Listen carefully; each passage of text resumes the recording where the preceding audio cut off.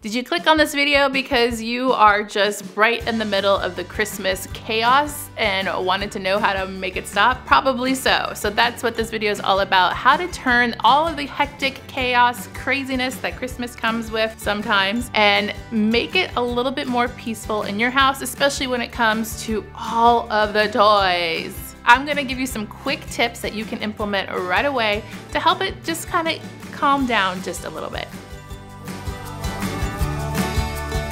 Hey, hey, you guys, it's Christina from the Purple Alphabet. It is done, Christmas. Did you make it through? I hope so. But now here we are after all the chaos is kind of starting to dwindle down with a little bit of overwhelm, which is why I wanted to make this video to give you some ideas on how to kind of ease on back into reality of non-holiday life and to kind of take control over all of the chaos and maybe all of the toy clutter because it happens. And I get you. If you're new here, I would love it if you were subscribed to the Purple Alphabet family. We do educational activities for kids and lots of ideas and inspirations to learn through play, hauls, giveaways, and sometimes little parenting advice videos like this one. Leave me a comment down below telling me what you're up to, and if you're new, I would love to hear from you too. Getting on to those tips on how to reduce the holiday chaos. The first step should have been done prior to the holidays, and you might have already done this and nobody listened to you, and that is to ask for less less. And that means asking for less from family, from your parents, from your in-laws, if you have in-laws, to your neighbors, to anyone asking for less. But of course, they wanna give your child a present because they wanna show they care.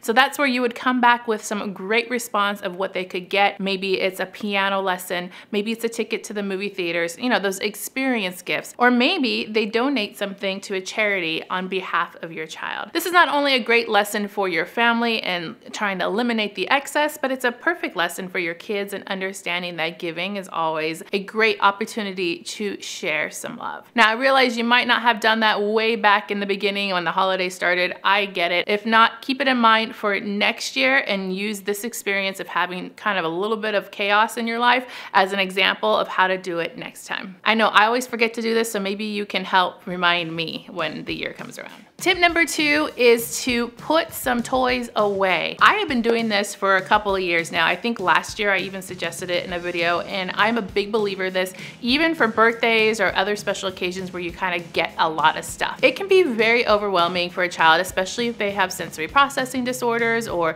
they don't exactly know what to do. If you get a lot, what I would recommend is taking a portion of that and putting away. I personally like to put my things in the laundry room. That's kind of just my safe haven. And then we pull them back out at a later date. So they're not going away. I still see them because they're in the laundry room so I don't forget about them as if I packed them in the garage in a box or something. And I can take them out when, you know, you have those moments where I'm bored, I don't know what to do, or you need something just kind of like pop some interest in their lives and you can pull it out at that time. Sometimes I've gone all through the summer up until the next Christmas and I still have one or two things sitting there. So if you kind of divide them out, you can do this with your child if you want, and take some of those toys and just put them away for later. It's gonna really really eliminate a little bit of the overwhelm. Your child's gonna be much more focused on the toys that they have, and then they can always pull one out at a later date. Especially during the summer, that's a prime opportunity. That way I'm not buying toys throughout the whole entire year, and I always have a backstock of options that they can pick from. So the key to this is to not forget about it, so make sure to put it in a place where you'll see and you'll remember. The other key is to periodically make sure you bring things out so you're not left with a surplus at the,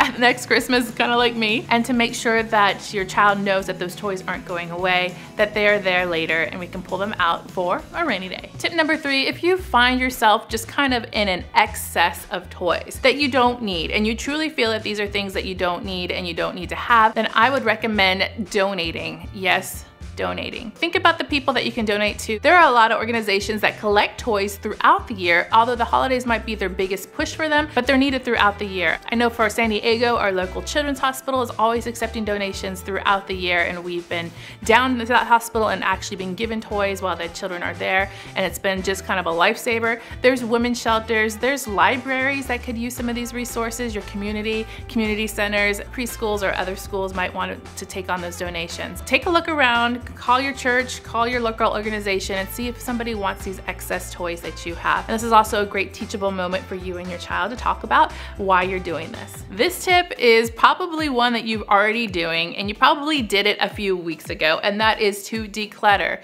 So if you didn't already declutter before the holidays, definitely do it now.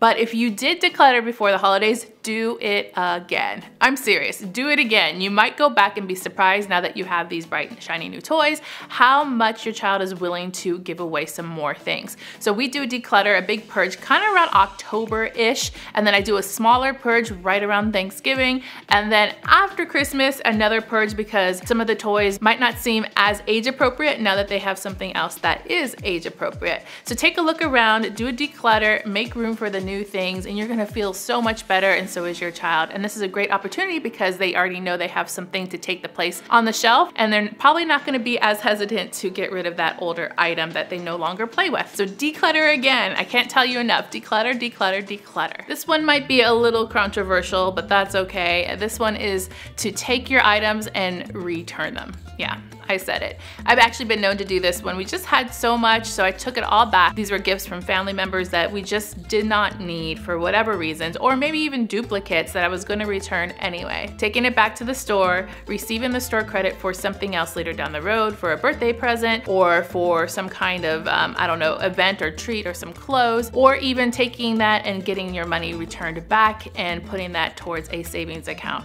So sometimes you just get too much and just returning it to get it out of your house can be a lifesaver. Yes, I understand this might be given to your child as a kind gesture, but sometimes it's just too much stuff. So returning it back to the store, getting a store credit or getting some cash back is gonna help you in the long run. One, alleviate the stress and chaos in your home, declutter, and then also give you an opportunity to use that money or that store credit for a later opportunity on something that is more needed. There have been a lot of times when we get so much at this time that I will have gotten a store credit and then two months later I need um, Um, soccer shoes or, or some kind of special shirt for a school event. And if I have that store credit on hand, I can just use that and that's basically the new present. But I didn't know I needed that until later. So returning now is gonna save you that heartache later. You're gonna have a little extra cash in your pocket or in store credit that you can use for something that you truly do need that you didn't know you needed today. Those are my tips for kind of eliminating the chaos, the clutter right after the holidays and easing back into that normal life. Do one, do all of them, do a couple of them, and let me know your favorite one down below in the comments. And of course, if you have a suggestion, I'd love to hear it too. Easing out of the holidays, stress-free and clutter-free and taking down the excess a notch is just gonna make you feel much better as your children too. Click subscribe to see more videos like this and give me a thumbs up to show your love.